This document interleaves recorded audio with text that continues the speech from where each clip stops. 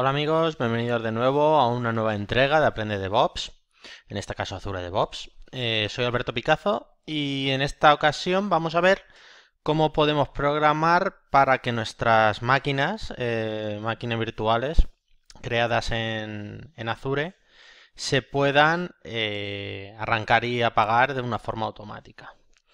Bueno, yo como podéis ver tengo unas cuantas máquinas, tengo aquí una de Jenkins, y lo que vamos a hacer es crear todo el proceso que hay que seguir para eh, que esta máquina de Jenkins se arranque eh, a las 7 de la mañana, se apague a las 8 de la noche, eh, de lunes a viernes. Entonces, de esta forma ahorraremos muchísimo en costes. Es decir, tú pagas en, en las máquinas virtuales pagas por uso. Entonces, si una máquina te cuesta, pongamos que 80 euros al, al mes, tenerla enchufada a todas horas, si la apagamos y la encendemos cuando realmente la vamos a usar, obviamente vamos a reducir, mm, no os digo a la mitad, pero casi el, el uso, ¿vale? Porque si quitas sábados, domingos y la mitad del día, bueno, de hecho incluso puede que sea algo más, algo más de la mitad del coste. Entonces yo creo que es algo bastante interesante.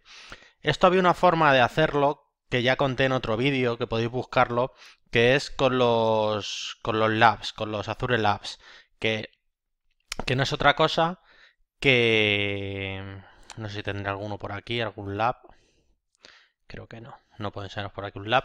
Pero un lab no es otra cosa que un componente eh, que nos permite eh, administrar mm, la creación de máquinas virtuales y podemos configurar una serie de automatismos para todas las máquinas virtuales dentro de ese lab.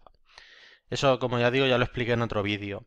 Ahora lo que vamos a hacer es eh, hacerlo nosotros manualmente.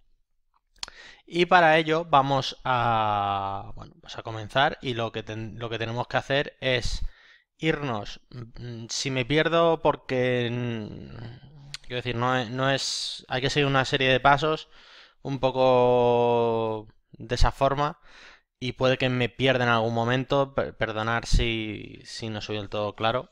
Lo he hecho algunas veces, pero siempre que voy a hacer un nuevo me pasa lo mismo. Espero que esta vez no, ¿vale? Perdón.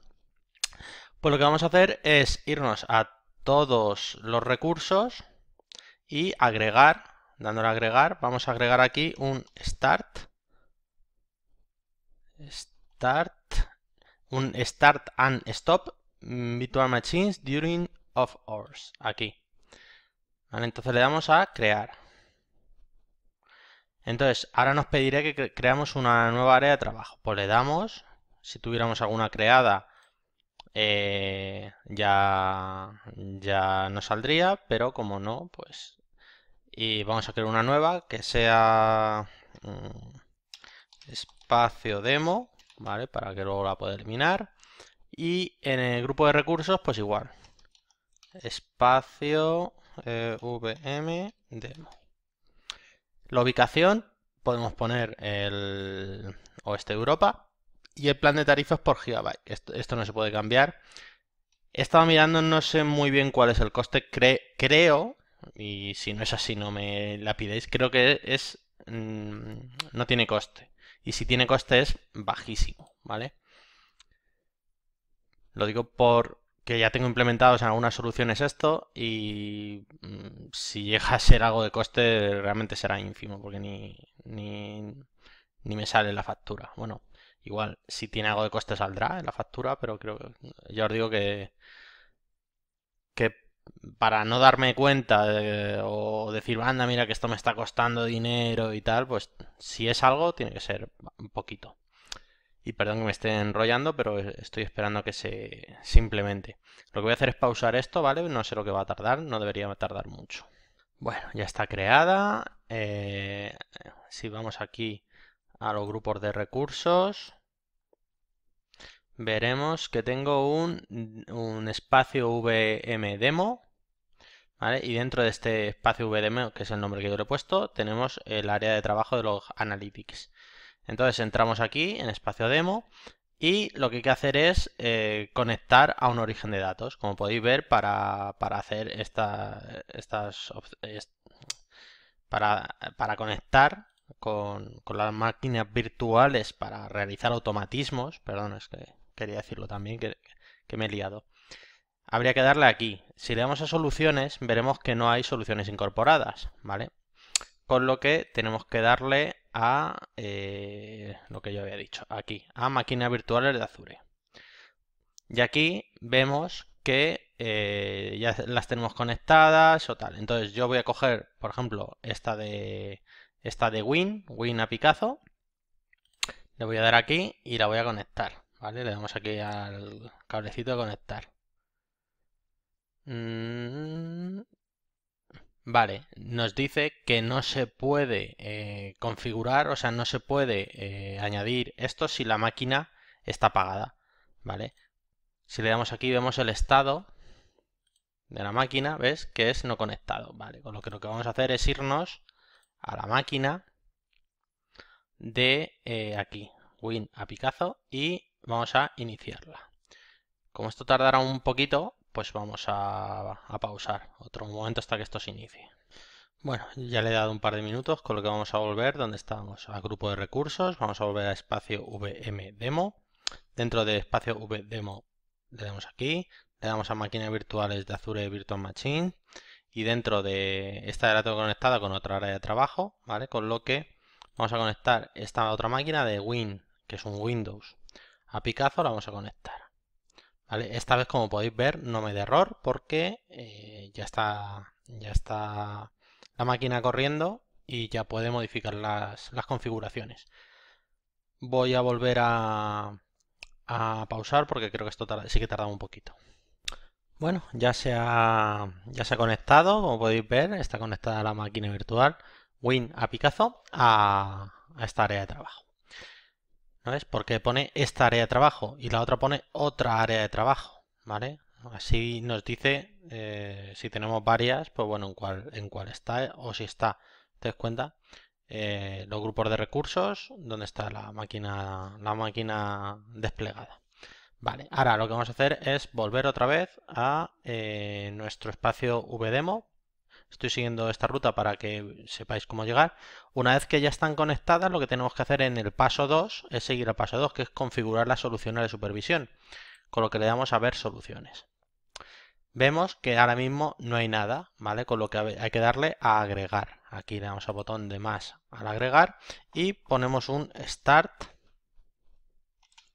De nuevo, Start, Stop. ¿Vale? Y seleccionamos este componente. Le damos a crear. Y, eh, por ejemplo, le damos a espacio demo. ¿Vale? Ahora, nos, dice si creamos una cuenta de automatización, ¿vale? Que esto es lo que hay que hacer. Entonces le ponemos el nombre que queramos, por ejemplo, eh, pues out demo, para yo saber que... ¿Vale? Y aquí no podemos seleccionar nada, solo a la suscripción y darle a aceptar. Esto nos creará nuestra, nuestra cuenta de automatización. Y ahora, en el siguiente paso, cuando termine de, crearse, eh, en la configuración de los parámetros, le decimos la hora, ¿vale? Sí, primero si queremos escribir una máquina virtual o no. ¿Por qué dice esto? Porque esto aplica a todas las máquinas virtuales que tengamos. Entonces, aquí puedes poner el nombre de las máquinas para excluirlas. Quiero decir, si yo tengo cinco máquinas, pues aquí puedo poner el nombre de, de las máquinas para que no se arranquen o se apaguen, ¿vale? Porque esto es eh, lo que aplica para todas. Entonces yo de momento voy a poner la que le aplica a todas y le pongo que al día siguiente, ¿vale? Hoy estamos a 18, pues a partir del día 19 a las 070000 y que se apague a las 20 eh, horas 0000 y le voy a decir, bueno, que no me avise. Si tú le pones aquí un email, te mando un email de cuando la vaya a encender y cuando lo vaya a apagar. y le damos a aceptar. Le damos a crear y la implementación está en curso. Esto no tarda mucho, como podéis ver, con lo que vamos al grupo de recursos y veis que ya tiene, ¿vale? Dentro del espacio, porque hemos seleccionado este espacio, bueno, este, este espacio que tenemos ya creado, se ha creado un out demo con este icono así que parece un engranaje. Entonces, si entramos en él, le damos aquí, ¿vale? Nos dice, pues un poco, cuando lo tengáis conectado más días os dirá si está en ejecución, si está en cola, si da error, ¿vale? Aquí os irá saliendo una métrica. Eh, y ahora bien, ¿cómo podemos eh, configurarlo? Pues si nos vamos aquí a variables, a la X esta en el menú, ¿vale? Aquí en variables, le damos aquí, ¿vale? Vienen eh, todos los, la configuración que te crea el automatismo por defecto, ¿vale? Si queremos cambiar algo de esto, pues podemos, quiero decir, la cadena, el en estas configuraciones podemos cambiar eh, las máquinas de destino y todo esto. Por ejemplo, en external exclude names, ¿vale? Hay un nome, pero si yo aquí lo edito, ¿vale? Puedo eh, escribir eh, las máquinas excluidas o la hora de la hora de de arrancado, que creo que estaba por aquí, mira las 6 y todo esto, ¿vale? Entonces aquí podemos modificar unas variables. Pero ahora, y lo más importante es en... en ¿Dónde era? Esperar un segundito. En programas, aquí. Un poquito más arriba, en el relojito, en programas, si le damos aquí, vemos eh, que, que tenemos activada eh, un scheduler start VM y un scheduler stop VM. Las tenemos activadas. Y aquí viene de qué hora a qué hora la hemos, hemos metido. porque está de 6 a 7 cuando lo hemos puesto de 7 eh, a 8? Pues porque lo ha transformado en UTC. Y eso lo vamos a modificar ahora. Entonces, si entramos en esta tarea, eh, pone que se inicia, vale, el día siguiente a las 6, ¿vale? Pero no, yo voy a poner que se inicia a las 7 y voy a cambiar el horario. Voy a, voy a buscar España. España de Europa Occidental. ¿Y qué me dice? Eh, a las 7, 7, 7. A ver, a ver, no. Mm, no sé por qué me está diciendo... A ver. Europa Central sí. no entiendo. Esto lo he hecho mil veces y... A ver si es un error suyo. Europa Occidental. ¿No? Bueno. Y la periodicidad, es periódico, ¿vale? Esto es importante. Y luego el repetir cada, pondríamos semana y entonces le decíamos que le diríamos que queremos enchufarla, o sea que se arranque lunes, martes, miércoles, jueves y viernes a las 7 de la mañana, ¿vale? Y podemos aquí configurar una expiración de si queremos que a tal fecha ya expire esta configuración. Y entonces le damos a guardar. y de la misma forma eh, y de la misma forma eh, haríamos aquí, ¿vale? en el schedule stop. Que está puesto a las 19, ¿vale? Pues yo quiero poner a las 20 del España occidental. A mí me suena que es occidental, pero no me deja, no, no sé por qué no me deja. Pondré España Europa Central. Y aquí eh, lo mismo, configuramos expiración, aquí no, en repetir cada semana y decimos lunes, martes, miércoles, jueves, viernes. Y le daríamos a guardar. Pues ya estaría, ya estaría configurado, chicos. Ya al día siguiente, a las 8 de la mañana, todas mis máquinas virtuales se van a arrancar. A las, 8 eh, de, a las 7 de la mañana que diga, a las 8 de la tarde se van a apagar todas.